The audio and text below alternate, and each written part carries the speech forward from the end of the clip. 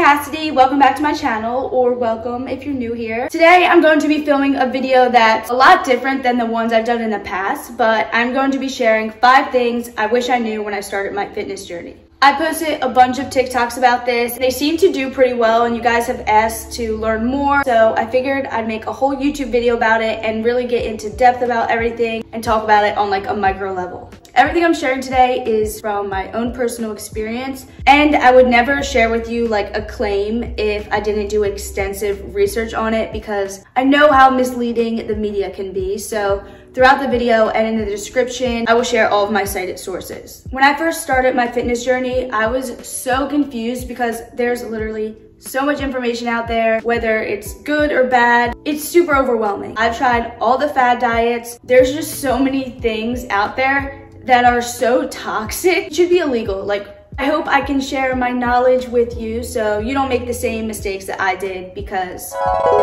I've done them all. Number one, weights do not make you bulk.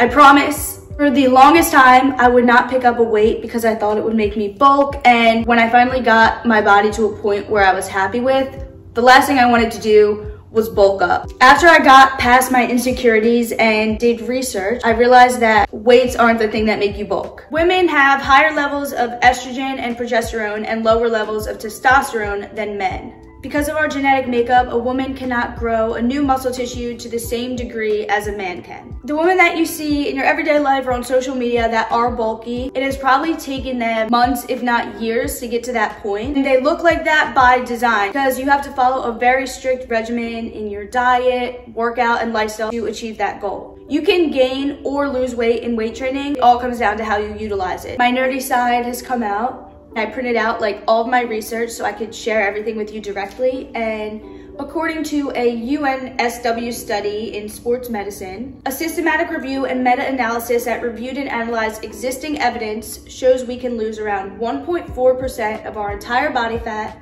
through strength training alone. Speaking generally, all workouts boost your metabolism, but the thing with weight training is your body is still burning calories even after you work out as it returns to its normal resting state. And it really all comes down to your diet. Like a slight calorie deficit combined with weight training can help you shed off the fat and maintain muscle, whereas going in a calorie surplus in weight training can help you bulk or gain muscle in a different way. Diet is literally everything. I'm not exaggerating when I tell you the first six months that I started working out, I was barely seeing like any progress because my diet was just like crap. Because I didn't know like what I should be eating, how much, or anything about diet. Protein plays like a huge, huge factor in this as well. Two weeks. I am so serious when I tell you, two weeks after I started like increasing my protein, I saw so much progress. I'll show you before and after, 90% of your results will come from your diet and 10% will come from working out. And I'm saying this like, I'm so serious. Speaking of protein, I'm so excited that I've had the opportunity to partner with Gainful, which is literally my favorite protein brand. When I tell you, I am so picky when it comes to my protein. A lot of proteins out there on the market are like so high in fat, so high in sugar, so high in calories and just have so many unnecessary ingredients. The fact that I can recognize all the ingredients is everything. Organic pea protein, organic brown rice protein, and green tea extract. Trust me when I tell you, this protein is incredible.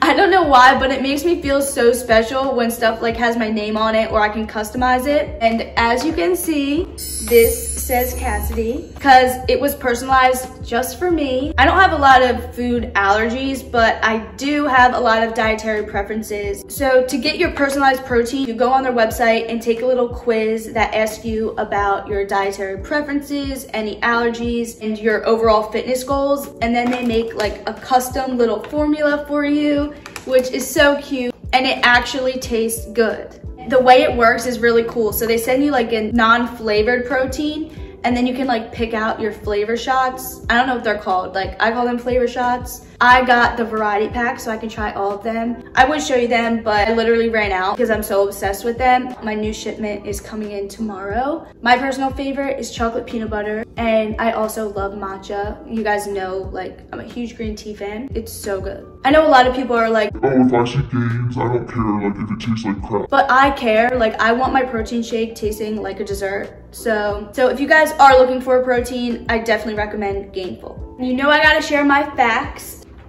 According to a study, potential muscle-related over the past decade, the potential muscle-related benefits achieved by consuming higher protein diets have become increasingly clear. Increased protein intake contributes to greater strength and muscle mass, allows for greater muscle mass preservation when consumed during periods of negative energy balance, calorie deficit, limits age-related muscle loss, and to a lesser extent, provides a greater muscle protein synthetic response when evenly distributed across meals. So there you have it. Protein is king. Mm, I have an itchy. Ooh, it's golden hour. Number three is you can't target fat loss. Everything I talk about today in the video, like I'm guilty of believing at some point. There's so many clickbaity videos out there, like workouts to lose weight in your inner thighs or workouts to get rid of belly fat. All those things like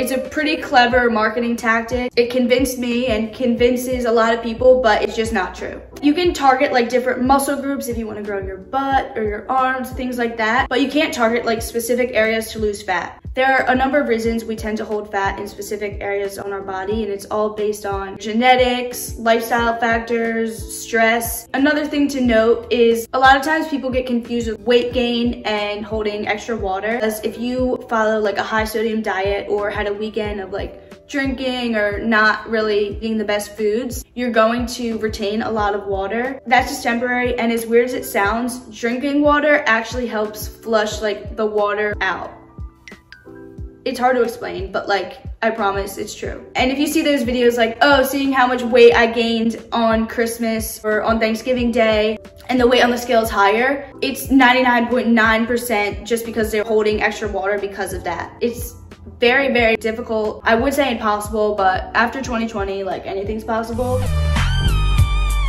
But it's very difficult to gain weight in one day. That brings us to our next point. Do not buy a scale. I don't have a scale in my house. If you have one, literally like burn it or throw it out because it's just not good for your well-being and not at all a representation of your progress. There are so many reasons like you could be a different weight tomorrow than you are today. If you're holding extra water, the time of day it is, what part of your menstrual cycle you're in, a common scenario that happens is people start working out and they look slimmer and they look more toned. They step on the scale and their weight's higher. That's because muscle weighs more than fat, so it really doesn't give you like an accurate depiction of like you.